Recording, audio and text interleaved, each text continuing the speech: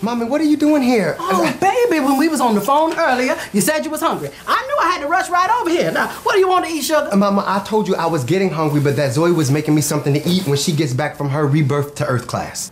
Ooh, that's that naked aerobics class you was telling me about. Woo. Ma, first of all, Lord have mercy, Jesus! You ain't got no food in here. Before you started dating that girl, your refrigerator used to be full. What is this? Liquid aminos. What, what is an aminos?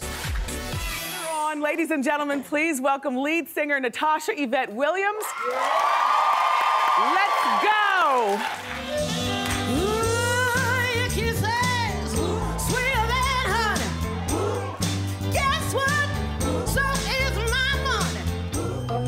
Oh, hey, children. So glad you made it. Uh, we gonna start with prayer soon. Where's Miss Thing? She ain't coming? Was she playing Jezebel somewhere? Ma. no, I'm gonna be nice. If there's one thing I can't stand, it's tardiness. So your girlfriend's got about 15 minutes to get here. Okay, she's gonna be here. Oh, oh Sister Gussie Banks! I'm glad you could make it. Praise the Lord, Sister Brian. you know I never miss a chance to stomp on the devil, cause he's a mother. you know that.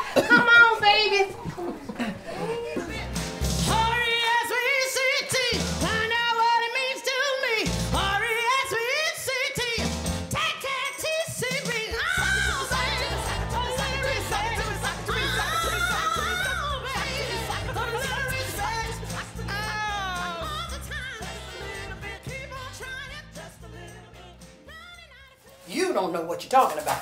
Now my baby in there say his back hurt. Personally, I think you had something to do with that. But that's a whole nother conversation. Well, Mama. Hey, hey, hey, hey, Mrs. Bryant, y'all ain't married yet. I'm fine. He ain't fine. The man thought he was having a stroke because of your burnt toast. Ma. Well, I made Can I bring my girl? Yeah, sure. The more the merrier.